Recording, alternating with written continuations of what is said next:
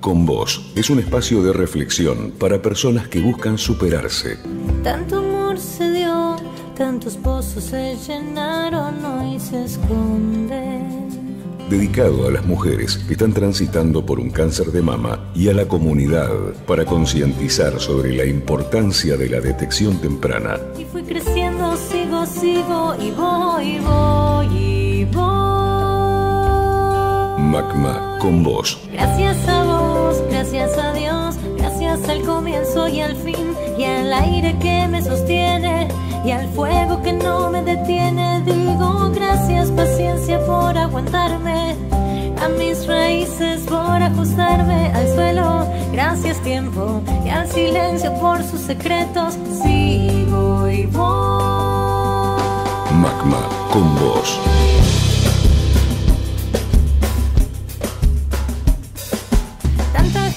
Buen día, Lu, ¿cómo estás? Buen día, acá un día más en Magma con vos. Hoy estoy aquí presente, reemplazando a Marta Matiusi, porque hoy, como saben, es la jornada que organiza Magma, así que ella Vamos está- a hablar sobre la jornada, obviamente. Vamos a hablar. Y Marta, bueno, están los preparativos previos a la jornada como presidenta de la institución, así que un beso a Marta. Y un beso a Susana, que hace rato que no está viniendo, no sé qué le está pasando. Un besote grande. Susana, si nos estás escuchando. ¿no? Te estamos extrañando. Eh, Lu, el programa pasado estuvimos con eh, una entrevistada de lujo, eh, una amiga, una queridísima amiga de la casa, Fanny Exacto. Mandelbaum. eh, lo cual eh, sabemos que tiene una agenda sumamente apretada, pero ella igual nos hizo un lugarcito porque es una mujer que la verdad tiene una energía que admiro y envidio porque Sí. está en todos los medios posibles, está Fanny presente. Y Sí, bueno, no amor. pudo no estar en nuestro programa donde bueno, se habló de muchísimos temas interesantes que bueno, nos pueden descargar en conexión abierta y nos pueden volver a escuchar. Exacto. Ah, bueno, después quiero recordarles nuevamente que el pasado 19 eh, de octubre fue el Día Mundial contra el Cáncer de Mama, cuyo objetivo es tomar conciencia de la importancia de la detección temprana del cáncer de mama. Exacto. Y yo les voy a contar un poquito qué acciones hicieron Dale. ese día 19. Bueno, Magma estuvo presente en el Hospital Municipal de Oncología Marie Curie eh, y se, hizo, se, hicieron, se hicieron acciones con médicos, enfermeros, pacientes. ¿Y qué hizo Magma? Y una artista invitada también. Una artista de lujo que la queremos un montón. Pero ¿qué pasó ese día? Bueno, fue una fiesta. Intentaron realmente que sea un día festivo, eh, con mucha energía. Estuvieron presentes Melissa Blanco, la cantante que aquí... Grande, es eh, nuestra cortina musical. nos hace las cortinas y estuvo presente dos veces. Después estuvo ella con toda la banda de Racing Solidario. Ay, estuvo bueno. presente la fundación de Julio Boca. Fueron muchos bailarines y se vistieron de enfermeros y médicos y salieron a bailar a los pasillos. Con lo cual, la gente que estuvo nos dijo que fue un momento súper emocionante, que los pacientes se quedaban maravillados con una sonrisa, que lo disfrutaron. Después, nosotras somos conocidas en, en el hospital como las mujeres de... las chicas de los mandalas. Claro, sí, donde está Irene y donde está Patricia. Patricia. Entonces teníamos que estar presentes con mandalas y se hicieron banners gigantes donde a todo que estuviera presente en el hospital se lo invitaba a pintar. Ah, qué. Habían pinturas a disposición y de hecho los mandalas se pintaron conjun- conjuntamente entre varias personas. Quizás alguien pintaba un ratito una parte y volvía a otra persona y pintaba otra. Con lo cual fue Una interacción muy dinámica. un lindo encuentro. Qué lindo. De mucha emoción, muy emotivo. La verdad que sí, me lo perdí. La próxima trataré de estar presente. Bueno, ahora sí, contanos de la jornada un poquito. Dale. Bueno, hoy es la jornada que organiza Magma. Hablemos de cáncer de mama. Un espacio creado especialmente por y para mujeres con cáncer de mama, para hablar sobre detección temprana. Nos acompañarán invitados especiales para abordar temas de interés para todas las mujeres. La jornada es de entrada libre y gratuita. Está dirigida a pacientes y a sus grupos de pertenencia y la comunidad en general. Estamos seguras que te gustará muchísimo. Por esto queremos que nos acompañe y que seas parte de esta linda iniciativa. Así que los horarios son de 14 a 18 horas en el Salón de los Pasos Perdidos de la Honorable Cámara, de Diputados de la Nación. Es en el Congreso, En directamente. el Congreso, Avenida Rivadavia, Exacto. 1864. Bueno, y nos van a, nos van a visitar invitados. eh, O sea, el panel está, es un, es un panel interesante que estuvimos leyendo hace un ratito, ¿no es cierto, Lu? Sí, la verdad que son, bueno, todos profesionales del sector, Claro. gente con amplia trayectoria. Y la idea un poquito de Magma fue este año cambiar el evento eh, que hacíamos en octubre. Y la idea era un poquito justamente indagar sobre determinadas temáticas que hace mucho tiempo pacientes y la comunidad en general nos venía como consultando. Bien, ¿quiénes van a estar? Sí. Primero va a estar la doctora Julia Ismael, coordinadora técnica del Instituto Nacional de Cáncer, hablando sobre cáncer de mama en la Argentina. Ella seguramente va a dar ciertas estadísticas y demás. Después va a estar la doctora María Viniegra, subsecretaria de la Atención de Salud, coordinadora del Programa Provincial de Control de Cáncer en el Ministerio de Salud de la provincia de Buenos Aires. Después estará presente el doctor Matías Chacón, vicepresidente de la Asociación Argentina de Oncología Clínica. El doctor Federico Coló, presidente de la Sociedad Argentina de Mastología y director médico del Instituto Alexander Fleming, que seguramente eh, a él lo conocen, es una eminencia en el sector. Bueno, como todos los que estoy nombrando, ¿eh? son personalidades muy reconocidas. Después otro panel estará integrado por la licenciada Claudia Fernández. Claudia es eh, psicóloga y es este, la psiconcóloga de Magma, ¿no? Claro. Eh, estuvo acá presente, así que Hicimos una entrevista. hicimos sí, una sí. entrevista hace un tiempito. Después estará la doctora Emilia Arrigui, doctora en psicología de salud, especializada en psico-oncología, y ella va a hablar justamente del nuevo rol del paciente en el sistema de salud. Claro. Luego va a estar el licenciado Diego Sibori, que es nutricionista, y va a hablar de alimentación saludable, clave para vivir mejor. Bueno, Diego Sibori lo habrán visto en varios programas de televisión, eh, también en, en muchos programas de radio. eh, y un poco va a hablar de este tema que tiene que ver con cómo nos alimentamos en general y cómo nos alimentamos cuando estamos en un tratamiento, en este caso de eh, un tratamiento ¿Cómo deberíamos, no? alimentar? ¿Cómo deberíamos alimentarnos? Exactamente, porque a veces uno tiene demasiada información y hace lo que más o menos cree que es lo mejor, ¿no? Pero a veces no es lo mejor. Para eso están los especialistas que nos pueden informar. Exactamente. Así que eso es todo y para quien resulte interesante o quiera ir a escuchar a alguno de los profesionales puede eh, dirigirse al Congreso hoy de 14 a 18 horas. Bueno, ¿nos vamos a una pausa? Vamos. En Radio Conexión Abierta te acompañamos hasta el mediodía en Magma con Vos, el primer programa oficial de Magma.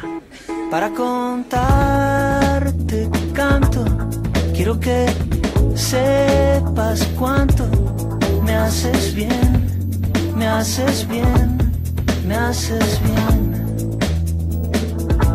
Te quiero de mil modos, te quiero sobre todo. Me haces bien, me haces bien, me haces bien. Basta ver el reflejo de tus ojos en los míos, cómo se lleva el frío para entender que el corazón que afortunadamente me haces bien, me haces bien, me haces bien. Sabemos que podemos ayudarte.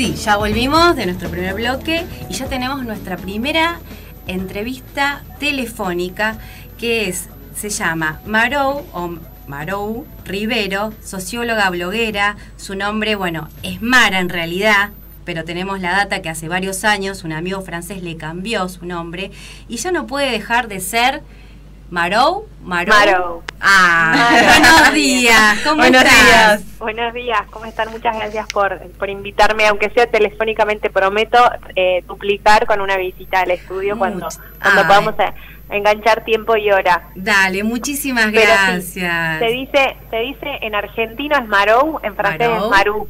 Maru. Ah, en francés Bien. Claro, Estábamos, estábamos justamente Debatiendo. ¿Cómo lo pronunciamos? En realidad eh, es Maru porque como me llamo Mara toda la vida me dijeron Maru Sí, y cuando él me claro. conoció me decía Maru, Maru y pero se escribía Marou y a mí me gustaba cómo sonaba esa O U que también tiene eh, otras posibilidades de ser, ¿no? Eh, en el nombre que nos viene dado por nuestros padres eh, pensar en, en qué le agregarías o, o qué, qué le sumarías a tu vida, le agregué la O y la U. Buenísimo. Está muy que, bueno. que, que tienen como ahí como, como un, un, un viajecito propio. Sí, tiene, sí, tiene su propia personalidad el nombre, Sí, sí. tal cual. ¿Cómo estás? Muy bien, acá, eh, contenta de, de- de que me llamen, de ser parte de, de este programa que me parece, y bueno, más que nada de esta fundación que me parece alucinante lo que hace.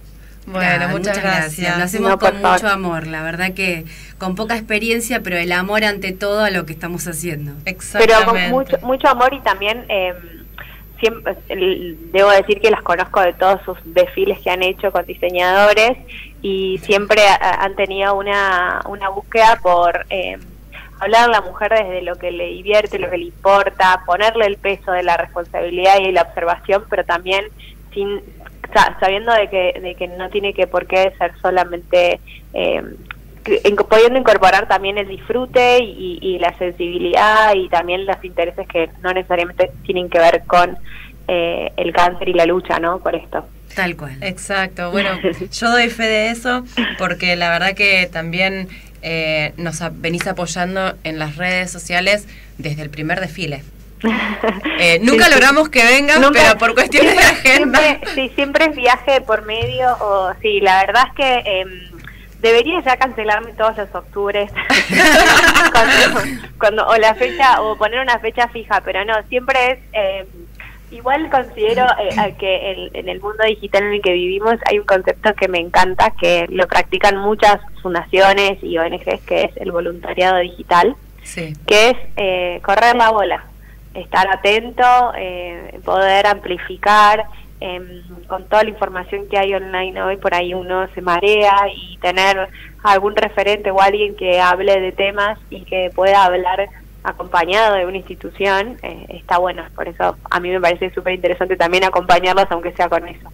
sí, sí, y para nosotros es, es una gran ayuda, no es una ayuda, es una gran ayuda, porque realmente amplías el, a, a quién llegás, ¿no? Eh, y así te va conociendo gente que capaz que ni te conocía, ¿no? Esto- Totalmente, totalmente. Es, es la magia de las redes sociales. Y no, solamente me va conociendo, sino que yo voy conociendo. Y lo mejor de todo es que se van conociendo entre ellos.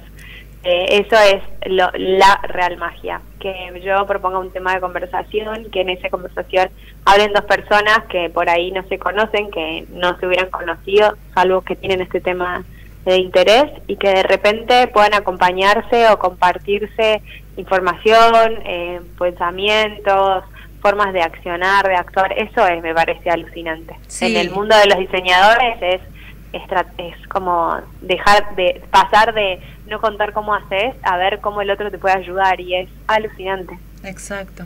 Hay una combinación que me llama eh, poderosamente la atención. Sos Sí. socióloga y bloguera, ¿no? Sí, sí. Van de la mano. Van de la mano, eh, muchos amigos sociólogos que no entienden qué hago acá. tengo muchos amigos blogueros que no, como que es, es una carrera. Claro. Bueno, mira, yo soy Em, socióloga también. Sí, ah, mira, qué gusto. Me alegro un montón porque me encanta conocer colegas. Me Pero- encanta. y te entiendo porque la verdad que yo estudié sociología, nunca me dediqué a la sociología en sí misma, Claro. pero me dio un montón de herramientas, Claro. como una, Totalmente. una forma de pensar. Es que es imposible dividirte. Sí, o sea, una cual. vez que tenés esa, ese, ese marco, eh, esa forma de, de, de ver, de, que, que no es mucho más difícil que el sentido común. Yo tenía un profesor en la facultad que me decía, es el sentido común con las palabras difíciles. Pero es como, la- para mí la sociología es como... es como tener en cuenta más, o sea, salir del, del, del pupo del centro propio y pensar que, que hay otras variables, que hay otros condicionamientos, que hay otras personas, que quizás no es algo que es individual y, y, eh, pensado y actuado por uno mismo, sino que tiene un montón de condicionamientos y variables y en ese sentido la moda es súper sociológica y las redes sociales son. Claro. Sí, sí, Y, absolutamente. y el abordaje que, que yo hago sobre esas cosas tiene que ver eso, tiene que ver con eh, la, la multiplicidad de causas o variables que interfieren en desde por qué algo eh, se vuelve relevante hasta por qué hay por qué los, los adolescentes se expresan en estas redes sociales nuevas. Como si bien está todavía muy todo muy muy muy nuevo y, y muy difícil de entender quizás eh, en el marco intelectual o el marco teórico es, es interesante ver por dónde se va construyendo todo no y es Sí. indivisible o sea yo no o sea no puedo ser no socióloga Claro. No, no, esto que vos hablabas, sí, todavía es como, es muy emergente todo lo que está pasando con las Sí, redes sociales total. y esto, no hay marco teórico, hay muy poco No. los... eh, quizás este podemos Es que decir va- gente es que, que- estuvo, estuvo analizando o escribiendo Sí. o indagando, hay muy pocas investigaciones al respecto, ¿no? Bueno, a mí me pasa de que ahora estoy leyendo un montón porque me, el año pasado hice un curso en, en Barcelona de una agrupación que se llama Influencers, que paradójicamente hace 20 años que se llaman así. Claro. y eh, es alucinante porque ellos hablan sobre eh, como la, la, la comunicación y la contracomunicación, como de contracultura, como qué, qué es lo que está pasando hoy paralelo a lo que estamos viendo. Claro. Y Internet nació como una contracomunicación. Exacto. Y hoy es eh, La hoy es comunicación. La comunicación y se están dando otras cositas paralelas y, y me, me llamó mucho la atención y empecé a leer y la realidad es que hay un montón de cosas escritas sobre Internet, pero sobre las redes sociales y el lugar que tienen en nuestra vida, no, porque las estamos viviendo y Mm. está, o sea, es el medio es tan cambiante Sí. que no llega a un punto de legitimación y por lo tanto es muy difícil entender qué es lo válido y qué no es lo válido, como a, a qué, qué es lo que tenemos que estudiar. Absolutamente, cambia muy rápido. Sí, Sí, sí. cambia muy rápido. Y mira, justo te íbamos a preguntar una- algo similar a lo que estás hablando, que es eh, cómo es tu relación con este espacio virtual y cómo decidiste hacerte un blog personal. ¿Cómo, cómo, cómo fue el momento o, o medio que te arrebató? De repente te viste escribiendo en un blog. Bueno, eh, me pasó de que yo tenía una revista en Córdoba que escribía mensual, eh, que, que se parecía mucho a un blog, pero impreso. Y mm, cuando vine a Buenos Aires, eh, dupliqué, tripliqué, o sea, exponencialmente la cantidad de actividades, personas, curiosidades, cosas que me pasaban. Como que había muchas cosas para contar. Y, y el, el- lo que tiene Internet es el- la permanencia, la actualidad, como que por ahí vos escribís algo que va a ser la semana que viene y si lo escribís online no pasa nada porque hay gente que lo puede llegar a ver hasta la semana que viene. Sí, Como sí, en, en algo escrito la agenda te queda como re desproporcionado, tenés que hacerla eh, a, a futuro que es más difícil todavía. Exacto. Y, y empecé a escribir el blog, escribí el blog durante 3, 4 años, eh, me, me iba a los eventos o a las cosas que me gustaban con mi cámara de fotos, volvía, bajaba las fotos, escribía y subía un posteo y para mí eso era lo más inmediato que podía hacer. Eh, después con las redes sociales, que fue así como medio intuitivo, medio jugar, medio ensayo-error. Eh, de hecho, una sola vez logré scrollear hasta bien, bien, bien abajo y me dan muchas gracias las fotos que, que tengo que a veces están movidas, que no se ven, pero era esa cosa de, de estoy ahí, lo estoy mostrando, era como de jugar en, en el pensar y poner, que después como novedad, uno quiere y quiere probar y quiere ver qué se siente y cómo lo hace y cómo lo puede mejorar y después te das cuenta que no hay nada, sobre todo para el exceso de información que tenemos hoy, como vivirlo, pensarlo, masticarlo y, y devolverle un, un insight que no sea solamente descriptivo, sino que te devuelva algo más. Claro. ¿Y por qué estás leyendo eso, no? Directamente dejarlo ser, ¿no? Claro, sí, eh, eh, es re difícil porque Re. cuando vos, vos lo estás disfrutando en tiempo real con la gente, pero cuando el- por ahí estás con alguien, eh, vas a una obra de teatro, la ves entera, no, no, no, no, no estás pensando en tengo que subirla, pero cuando salís de ahí, el momento de reflexión es para, para generar un contenido. Claro. Entonces por ahí es, eh, es como que tenés un doble momento Claro. y, y es, eh, eh, o la- al- no sé, desde una charla con un diseñador hasta eh, un viaje y conocer algo, como siempre hay un momento extra que tenés que calcularlo entre, eh, eh, sobre todo cuando si, si estás con personas o si tenés otro momento seguido Claro. pero pero es hermoso, o sea, poder, eh, no sé, algunas cosas son intuitivas, otras son un poquito más estratégicas, como pensar, como eh, tratar de que equilibre, que tenga que ver con qué es lo que te gusta, pero también qué es lo que funciona, qué es lo que la gente quiere, espera.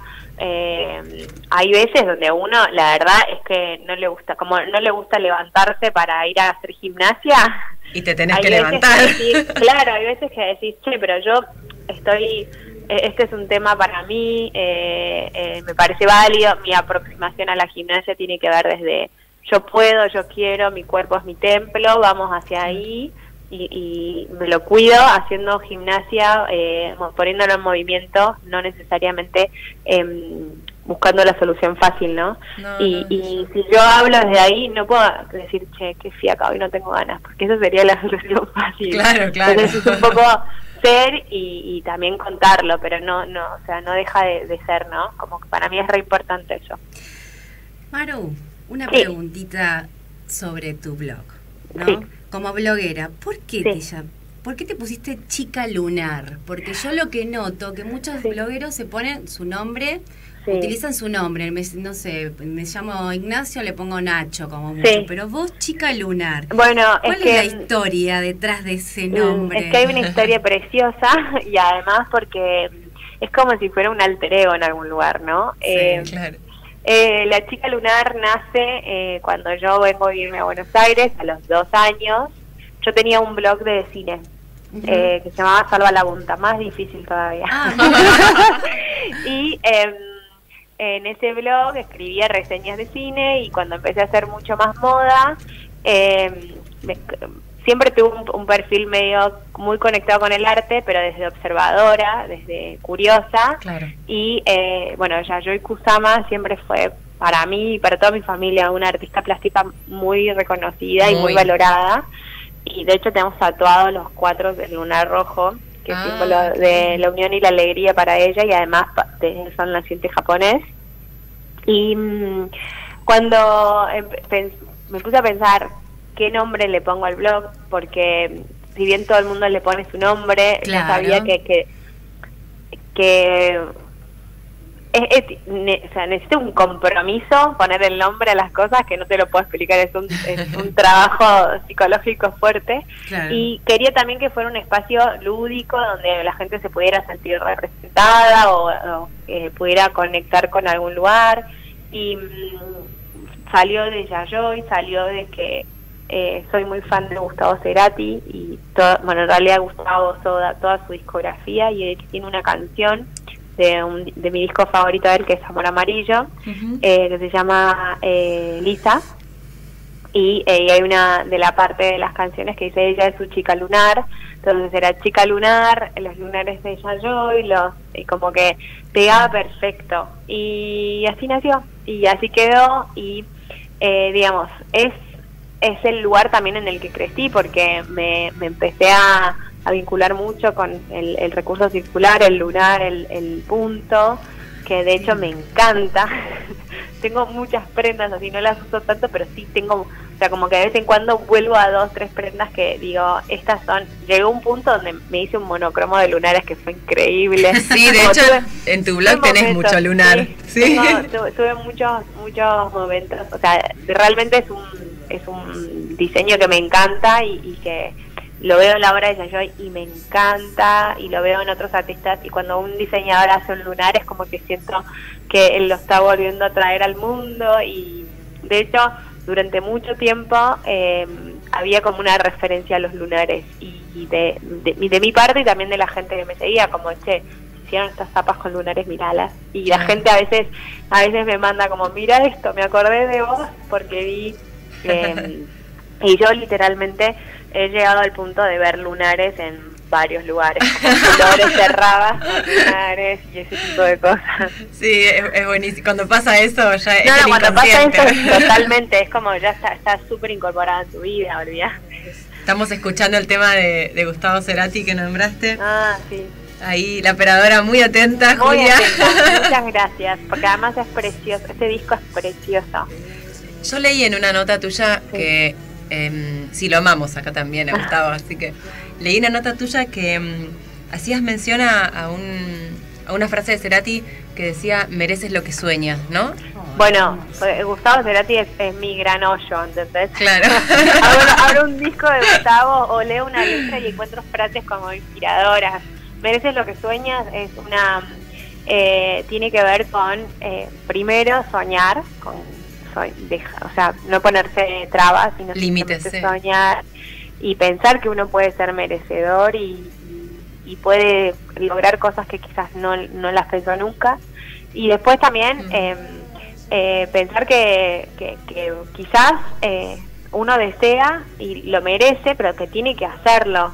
O sea, es, es, un, es una postura que tiene que ver con, con desear, con querer, pero también con hacer. Y, y hacerlo desde el lugar como por ahí vos pensás que no lo, no lo podés tener, pero si lo, lo, lo buscás, lo, lo trabajás, lo, lo, intentás, quizás, seguramente lo merezcas. No hay techos para todo los, eso. No hay techos para los sueños, ¿no es cierto? Exactamente. Y tampoco hay techos para el esfuerzo. Tal cual, tal cual. Entonces, si sumas sueños y esfuerzos, eh, mereces, lo mereces. Lo mereces. Sí, bueno, Te, nombraste Cerati y me vino justo a esa frase porque cuando la leí dije, qué linda que es. No, y es divina. Yo la tengo escrita por un montón de lugares de mi casa porque a veces nos olvidamos de, de, de soñar y no es en el lugar de conformarnos, es en el, en el pensarlo o, porque vivimos muy desprovistos de fantasías, de, hmm. de, pensar cosas que estamos muy literales en el mundo donde estamos hoy. Sí. Y a veces nos olvidamos de soñar. pero soñar no con... Eh, eh, incluso soñar con cosas que parezcan irreales. Soñar, soñar, con, con lo que sea, con lo que quieras. Sí. Yo me quedé con, con algo que comentabas eh, sobre el diseño, veo que también el tema de, estás como muy involucrada con el arte. Y, y, también con la moda, ¿no es cierto? Para vos, ¿qué es la moda? porque no es solamente combinar o simplemente estar en una pasarela donde yo llevo una prenda qué es lo que se va a, utilizar, no sé, o se va a comprar en, las distintas estaciones. Para vos la moda, ¿cómo definís la moda? Mira, eh, em, cuando yo empecé a estudiar sociología, la moda era esto que, que, vos decís, una, una propuesta que se ponía en una pasarela y que, em, que un poco es la definición de moda y por eso también la moda está tan tan corrida de lo que realmente pasa, como es este sistema de, em, de elegir, proponer, diseñar, pero también que todo un, que, todo un, un mercado y, los actores de ese mercado legitimen ese, esa elección, que se produzca, porque nosotros podemos comprarnos algo que está de moda porque hay alguien que lo hizo y hay marcas que lo, lo bajaron a, a, un nivel de producción más masivo para que sea más... O sea, como que hay todo un sistema que es que, posiciona qué está de moda y qué no está de moda. Pero también creo que eh, los últimos 20 años o menos por ahí em, se ha puesto de moda el modo, que es el, estilo. Para mí la moda es la propuesta, es lo que viene eh, de arriba hacia abajo y que vos puedes elegir. Usarlo o no. Después tenés cómo usas eso, que para mí ese es el real valor de la ropa, de la prenda, del diseño, de la, la remera blanca hecha en cantidad. Eh, es para qué lo usás, por qué lo usás. Claro. Eh, yo no me puedo imaginar en el cuando uno piensa que superamos ampliamente el valor de uso de la ropa, sea, no usamos para abrigarnos, no lo usamos, o sea, se- no es que tenemos una prenda y con eso vivimos, Claro. sino que tenemos un montón de remeras o más de un pantalón.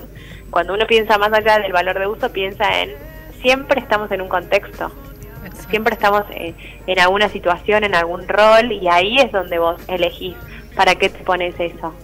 ¿Por qué te lo pones? O por comodidad, o porque es una, una convención social, o porque eh, es lo que te gusta, o porque querés eh, denotar más eh, eh, responsabilidad, profesionalismo, o querés ser más divertida, más lúdica. O sea, hay un montón de cosas que quizás por el hecho de vestirse uno no lo no lo, no lo piensa, pero que hay, hay un montón de metamensajes en, Sí, de significados, ¿no? El en- en- significado claro, de, cada, tal cual. de cada uno, uno prenda. de está, cada- uno está comunicando Sí. Tal cual. la, la gran la gran definición es, es un, es, un- es como si fuera una- un diccionario, un abecedario Sí. eh, y lo que tiene es que no hay eh, al contrario de un diccionario o un abecedario, no hay forma fija, sino que van mutando, porque también ese es el mercado. La remera blanca ahora tiene inscripciones y la el jean ahora está roto. Como que hay un montón de cosas que van mutando, pero que tienen que ver con comodidad, que tienen que ver con seguridad, que tienen que ver con eh, querer pertenecer también, Sí, que ver con. Adolescentes, ahí tenés eh, una clara imagen. Sí, sí. Totalmente, tienen que ver con eh, atributos que tienen, por ejemplo, la, la ropa de sastrería eh, tiene el atributo de, de, de esta situación de poder, porque toda la vida lo usaron los hombres, Claro. y eh, ponerse un saco que te marque el- los hombros en algún lugar te lleva a ese, a ese lugar de, de reconocimiento de poder y una mujer que trabaja en una empresa eh, siente que tiene que poner un saco para que la tomen igual. Es Claro. como, como que hay un hay muchas cosas, Sí. por eso te digo que es imposible separar la sociología de la verdadera. Sí, eso, eso es súper de la interesante.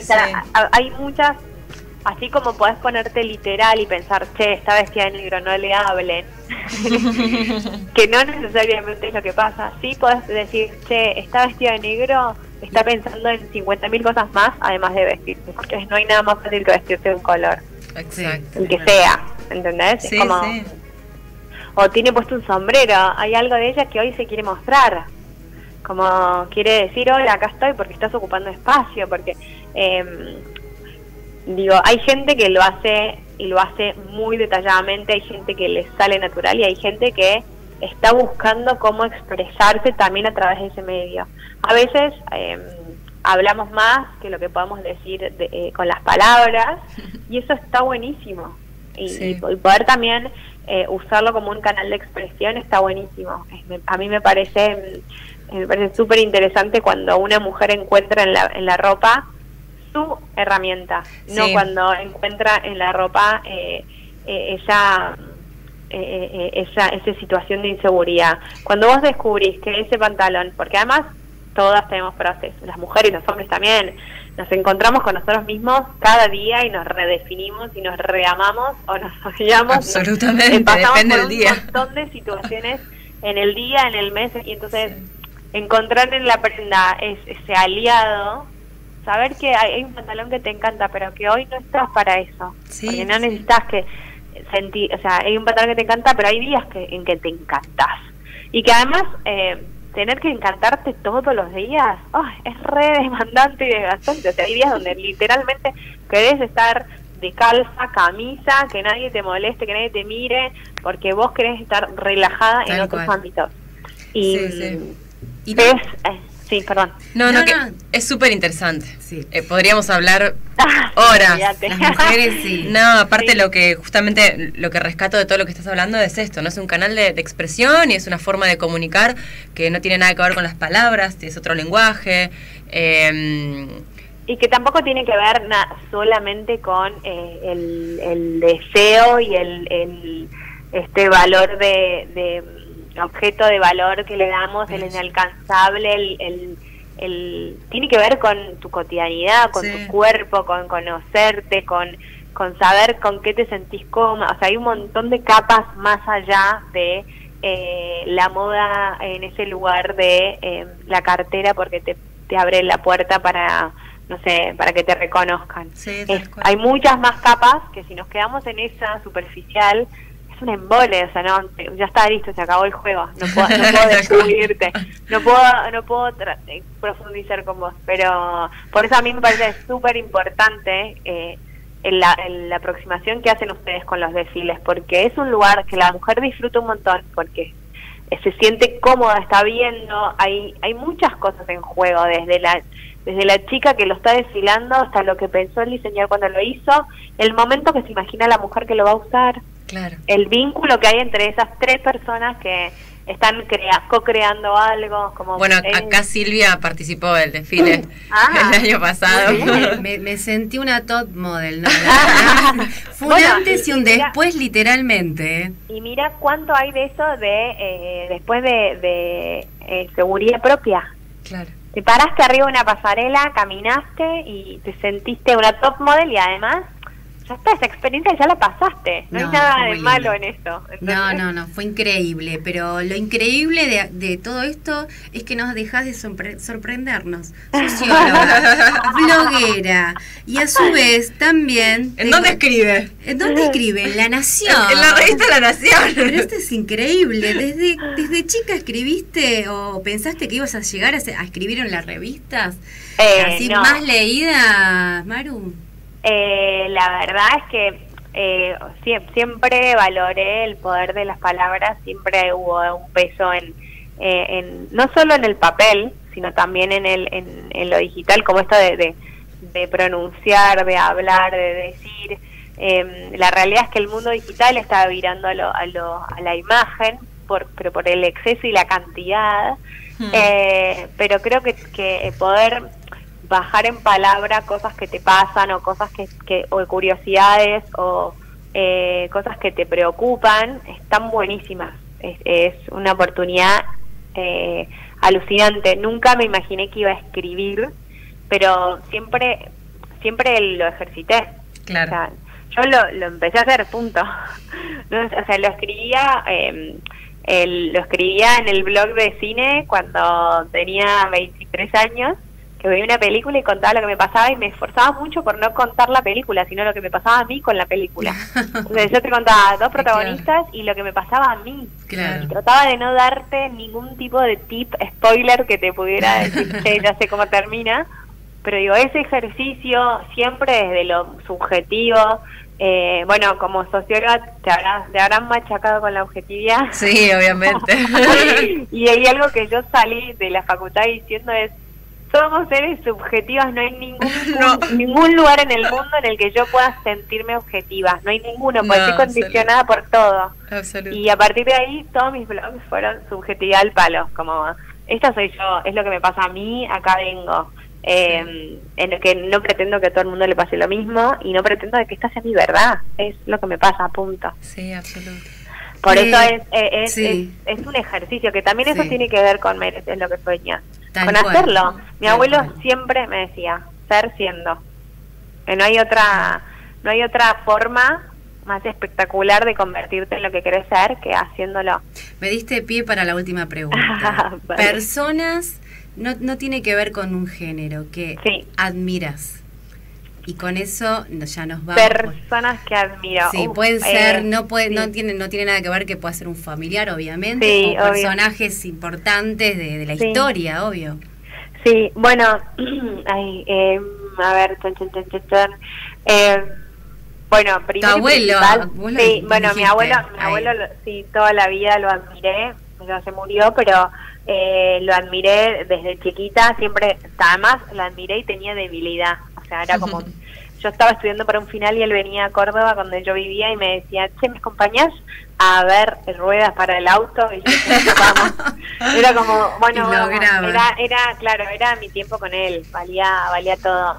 Mi hermana la súper admiro, para, para mí es una persona con un coraje que, o sea, que mm, es en la vida hay dos opciones. Yo estoy, estoy de la segunda y estoy tratando de, de modificarlo, que es, sabes lo que querés y vas al frente, y en el otro es, sabes lo que querés y vas de a poquito, y eso Qué qué le puedes sumar y qué puedes... Y a mí, o sea, yo estoy re feliz con el camino que construí, pero muchas veces por ejemplo, no sé, de los siete años que llevo trabajando, recién los últimos tres estoy trabajando solamente de esto. Y capaz si antes me hubiera animado, capaz que se daba, capaz que no, pero estuve cuatro años trabajando en relación de dependencia en otros lugares, sintiendo que lo mío era lo otro, ¿entendés? Claro, era claro. como ese tipo de cosas.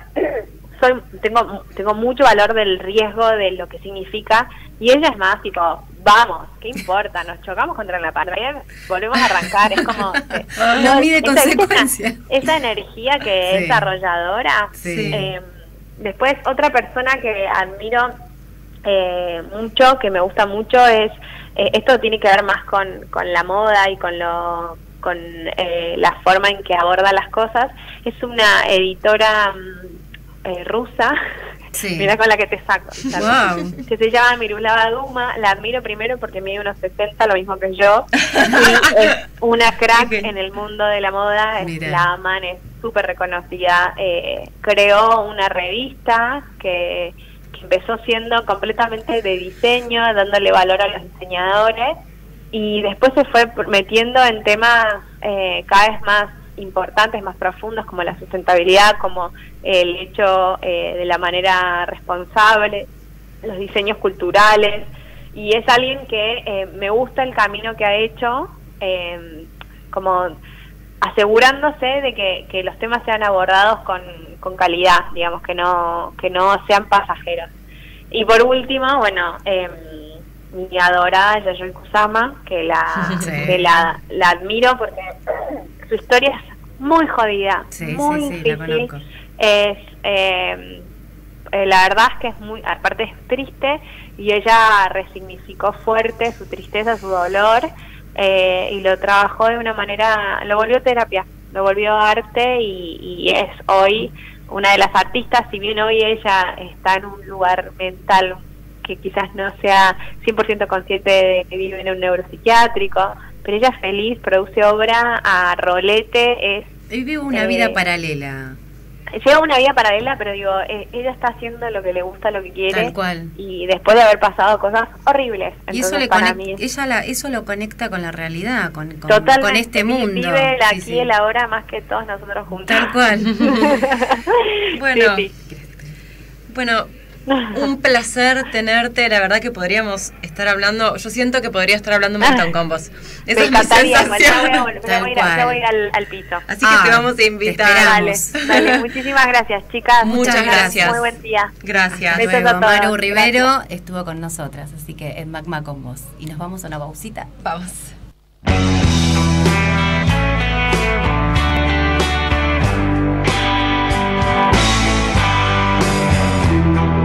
La detección temprana salva vidas.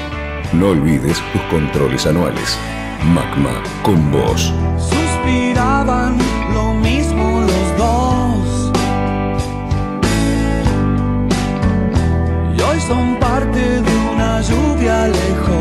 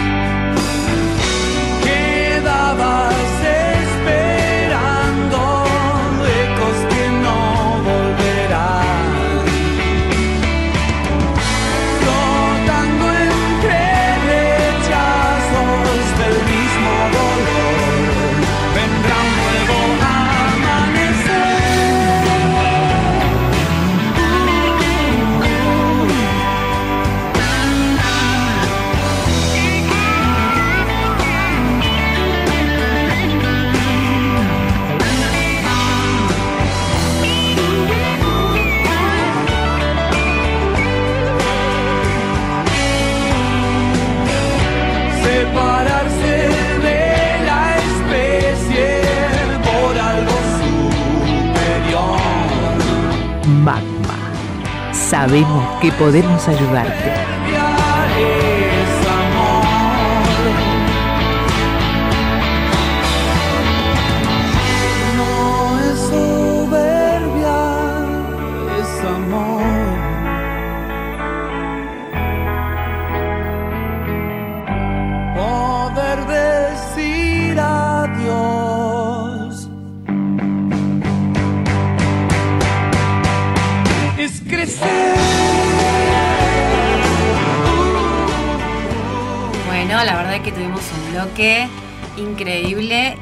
Ameno, ¿no? Nos sentimos Sí. como ya si fuera una amiga. Eh, nos, nos faltó que viniera a piso. Pues yo sentí por lo menos estaba. que estaba acá en piso, ¿no es cierto? Exacto. Pero bueno, seguimos con nuestras entrevistas. No sé, ¿la querés presentar, Lu? Buenos días, Florencia Ballarino. Hola, Florencia. Hola, buen día, buen día, ¿cómo están? Queremos presentarte a la audiencia que acá de Lu va a contar de qui- quién sos, aunque mucha gente obviamente te conoce, pero siempre, viste, como dice Mirta Legrand, los oyentes se van renovando. Claro, claro. Bueno, Florencia Ballarino es periodista y es su editora de la sección Ciencia del diario Perfil. Em, Correcto. Vamos a explicar el por qué te estamos llamando. La semana pasada escribí una nota sobre madres e hijas que lucharon contra el cáncer de mama y lograron superarlo, ¿no? Ajá. En esta instancia.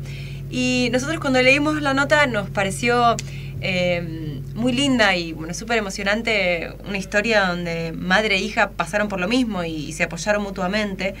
Y nos preguntábamos, ¿no? ¿Cómo, ¿Cómo se te ocurrió esta nota? Más allá que era el Día de la Madre, ¿no? Pero digo, eh, ¿conocías algún caso cercano o saliste a buscar una madre y una hija? ¿Te No, la verdad que la verdad que no conocía ningún caso cercano, eh, pero sí eh, por mi experiencia, soy periodista que cubre temas de salud, eh, sabía que con la, mejora de los tratamientos y también lo que es el diagnóstico temprano de cáncer de mama, eh, se daba un, aumento eh, de la sobrevida y ya había visto que en otros países hasta hay tres generaciones que pudieron superar el cáncer de mama eh, y, y bueno, me comencé a preguntar que acá en Argentina también debería haber mínimo dos generaciones y comencé a, buscar casos gracias bueno a, la ayuda de Magma pude contactarme con Silvia y Alicia y, y también gracias a la ayuda de, de la gente de la Sociedad Argentina de Mastología eh, di con otro caso que es el de Corina y, y Beatriz Exacto. Bien. ¿Qué es lo que te dejaron a vos estas cuatro mujeres? Eh, ¿Qué mensaje, qué, qué- no sé, lo que vos quieras comentar eh, sobre el... Bueno, la, la- entrevista? la- la verdad que eh, los dos casos eh, para, para mí fueron muy movilizadores. Eh, las dos historias son dos historias muy fuertes. Sí. Eh, sobre todo hablar con las mamás y que te cuenten que el diagnóstico de mama de sus hijas fue, eh, eh, digamos, eh, más conmocionante, más duro que su propio diagnóstico de Claro, cáncer. tal cual, Eh, sí, la sí. verdad que, que, y te lo contaban con lágrimas en los ojos, y la verdad que, que eso fue muy, muy, muy movilizador. Y después, la verdad que eh, las cuatro, eh, cuando tuvieron después el diagnóstico, Sí. se propusieron eh, enfrentar lo que es el tratamiento, eh, decir que vamos, si se puede, voy, voy, a seguir adelante, sin miedo. La verdad que eso me, me llegó muchísimo, ¿no? Ellas también rescataban mucho el tema de, de no, no tener miedo tanto de hacerse los controles periódicos como de ir al oncólogo y, y demás. Eh, Florencia, ¿qué te apasiona de tu trabajo diario? Aparte de estas notas que uno a una la conmueve, obviamente te llega porque puede ser que tengas o no un familiar que haya transitado, pero ¿qué es lo que día a día decís, amo lo que estoy, eh, la profesión que elegí? Bueno, lo que amo de, de mi profesión es, Sí. eh, eh, bueno, conocer todo el tiempo gente nueva que te transmite un, un montón de cosas. También la verdad que yo por mi especialización tengo, eh, digamos, el beneficio de hablar con muchos investigadores, con muchos médicos, eh, con gente que realmente eh, eh, está haciendo muchas cosas para, para cambiar la enfermedad, para Claro. buscar nuevos tratamientos. Eh, y, y bueno, tengo como, eh, digamos, una fuente de, de primera mano. Eh, y después también trabajar junto a ONGs, darles la posibilidad eh, de difundir su tarea. Eso también, la verdad, es muy importante y, y- y me hace todo el tiempo eh, querer seguir trabajando y dedicándome a esto. Ah, bueno. Y ya que estamos hablando de, de personalidades que quizás este, admirás o, o realmente valorás su trabajo, en el periodismo, ¿a qué mujeres vos admirás? ¿O colegas o quizás personalidades que ya no están más? Pero, ¿quiénes tenés de referencia en tu profesión? Bueno, eh, una gran referente de lo que yo hago, que es periodismo científico, es Nora Bar, Sí. eh, que es una, una colega, eh, y, y bueno, eh, justo eh, con ella nos estamos yendo al Congreso Internacional de Periodismo Científico, eh, que se hace en Estados Unidos. Eh, y después, bueno, tengo re- referentes del, del periodismo general, Magdalena Ruiz Piñazú me parece una, una, una mujer muy poderosa, ¿no? Sí, sí. La verdad que la admiro muchísimo, muchísimo y tuve oportunidad en, en algún momento de, de trabajar eh, con ella. Eh, y después no, no, no, tengo eh, así otros grandes referentes en la profesión, ¿no? Yo admiro a todas las, las mujeres por igual que Sí. hacen su laburo con, que trabajan y hacen su laburo con, con mucha fuerza, ¿no? Con, con mucha entrega. Exacto, exacto. Bueno, Florencia, eh, muchas gracias eh, por este llamado y bueno, queríamos este, llamarte porque la verdad que la nota nos había impactado eh, de sí. grata manera, nos pareció muy emocionante y que estaba bueno tocar el tema desde, este, desde esta óptica, ¿no? Bueno, les agradezco muchísimo y, y la verdad eh, felicito a todo Magma por el trabajo que hacen y vamos a, a seguir seguramente comunicándonos. Bueno, muchas, Muchas gracias. No, gracias a ustedes, cariños. Gracias. Bueno, la segunda entrevista con Florencia Ballarino en Magma con vos. Así que nos vamos a, a otra pausa. Nos vamos a una pausa y Cortita. antes solo aclarar Dale. que, eh, ya que estamos hablando de madres e hijas que han transitado por el cáncer de mama, Sí, sí. que según el Instituto Nacional del Cáncer, más del 75% de las mujeres con cáncer de mama no tienen ningún antecedente familiar. Esto me parece Sí. importante decirlo porque mm, eh, obviamente eh, cuando hay antecedentes familiares uno debe hacerse controles eh, por lo general antes de la edad que este, se estipula que te hagas los controles en el caso de que no tuvieras ningún antecedente familiar. Pero bueno, no es un dato menor, así que a cuidarnos todas las mujeres. Shine bright like a diamond. Para más información, visita nuestro sitio web www.macma.org.ar.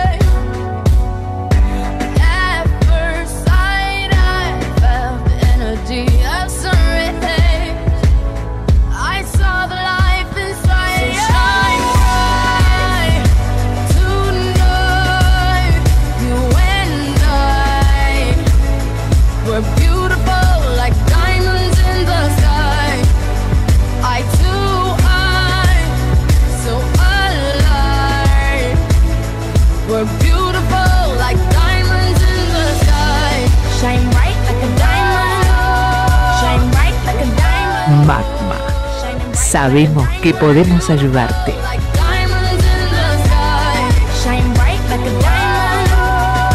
Bueno, el último bloque, como siempre digo, se nos ha pasado volando. Y bueno, vamos a recordar nuevamente, Lu, la jornada para que las- los oyentes que por ahí recién nos están escuchando enganchan lo último del programa. Exactamente. ¿Dónde es y a qué hora, por favor? Bueno, para hoy quienes quieran participar, acuérdense, la entrada es libre y gratuita. Es en el Congreso, en el Salón de los Pasos Perdidos, de 14 a 18 horas. Así que si estás por el centro y al mediodía estás por ahí y ya te liberás de tus tareas o de tu trabajo, podés ir y escuchar a algún panelista, podés entrar y salir, no hace falta que te quedes al final.